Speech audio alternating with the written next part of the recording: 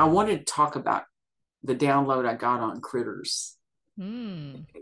So this is the most fun download I've ever got because what I realized from this is we don't have to kill anything. We just have to stay in balance.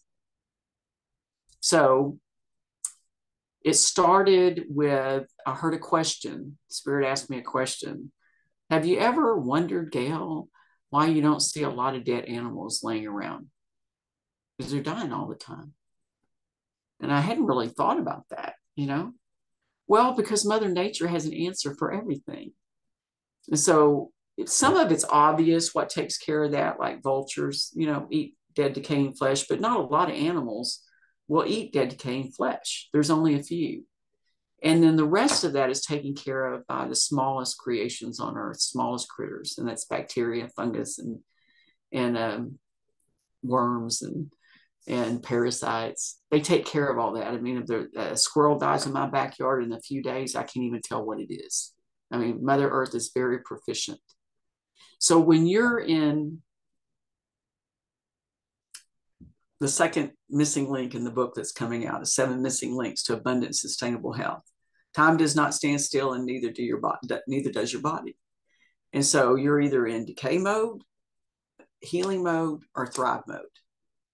When you're in decay mode, what you've done is signal Mother Nature's little Pac-Man that you have something to eat because that's what it eats.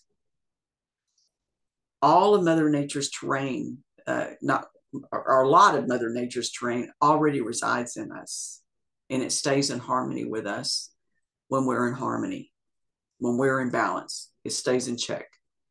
When we get out of balance, it takes an opportunity to grow because that's what life does. It takes an opportunity to grow, right? And so that's that overgrowth of fungus in your body. That's that cancer that's expanding, right?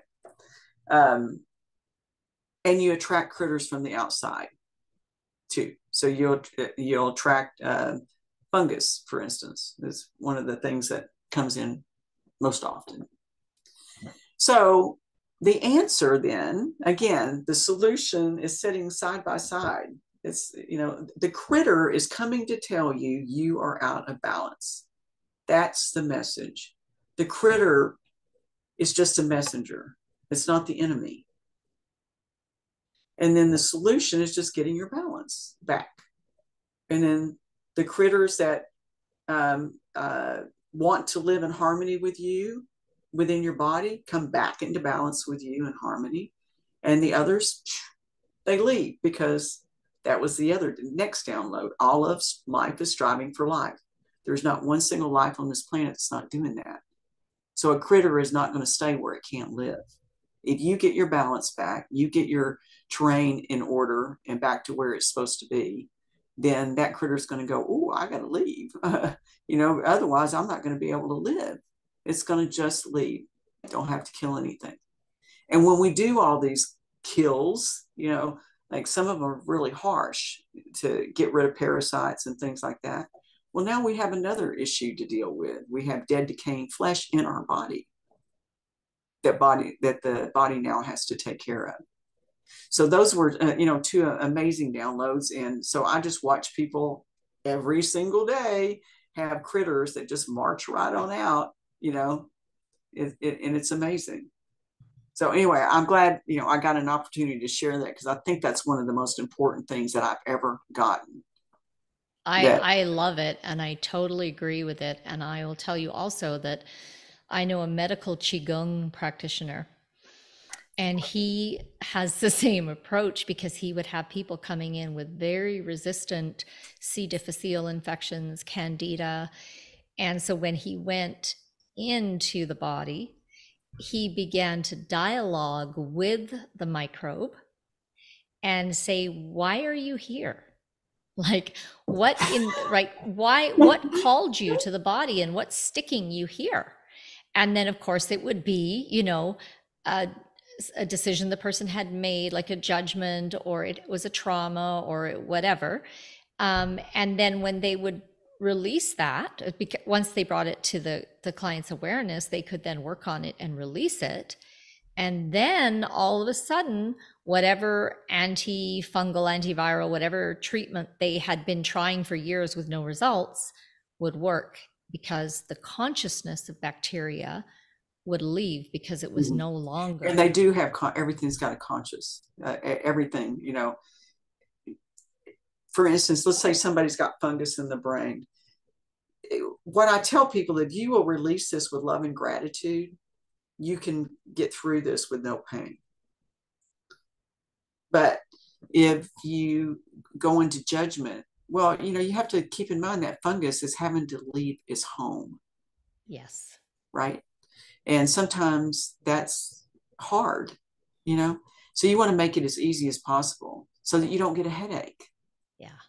Right. So you don't have angry fungus.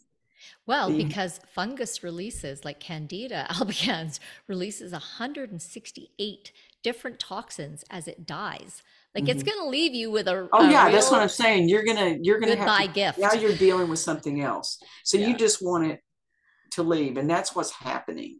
And it, and it happens. It happens fast. It can even be almost almost spontaneous. I've had that happen with clients. So you get your, you know, when you're working with all the trauma and, and all the things that's causing acid in your body and decay, that's what you're talking about. You know, this guy's tuning into, you know, what what is actually coming up for that person that needs to clear out so that they can bring their body back into harmony well basically. that was that was going to be my next question for you so when you see clients who are in this decay state or what what triggers or puts a person into the decay state where it then attracts all the microbes who are coming to because of that's what i'm saying. it's not so much about what they're eating. It can attribute it can it can contribute to it but it's not the cause. The cause is always up here. The cause the root cause is energetic. Give us some so, examples for people who are having trouble grasping this okay so somebody that is um, you know constantly in a negative state of mind or in trapped in fear all the time that flight fight or flight mode all the time well their body's completely stressed out it's making acid. Okay so one of the things i do is i can tell somebody what their overall body ph is. I see numbers. So i know what they're i know where they're at when they come to me and uh, the overall body pH, what I get is it wants to match your blood pH. Hmm. That's optimum. And when that happens, all the pHs in your whole body, different organs, uh, they come back into balance. And they're all different. You know, your stomach's like super, super duper acidic, you know. So let's say um, what I get with acid reflux is, is it, this is a stomach that's not acidic enough they can't digest the food. And then it, that food comes up back up with the bile which is still acidic and it and it comes up into your esophagus and burns. And on the other end you know you get leaky gut because you're not digesting your food because your intestinal ph is off okay? And i've had people their gut ph was so off they couldn't digest any food. It was amazing right? So you get your balance back and, and the balance like i said you have to work on this because this is the root of it the acidic thinking, the negative thinking. And that's, uh, you know, if somebody's not willing to do that work, then they're not going to, I don't care what they eat, it doesn't matter. You know, they can do, you know, it just doesn't matter. And everybody is so completely different too. So what's compatible to anybody at any given time is completely unique. That's why diets don't work. This is not a diet.